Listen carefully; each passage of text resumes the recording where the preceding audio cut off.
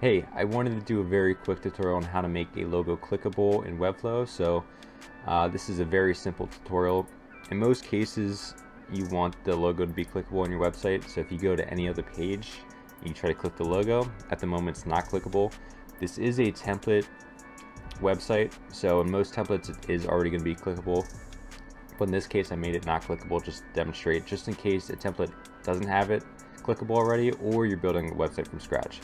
So if you go to navigation bar over here, click navigation. In this case, it is a component. So to edit a component, you just click in there and then click edit.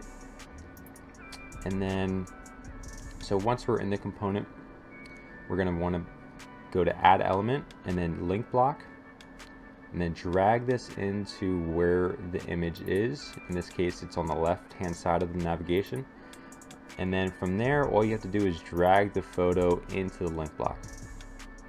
And so once you ha have it dragged in you can go have the link block selected and then you click settings. And then from there you do type page and then page home and then open in this tab. So once you have it you go to preview mode.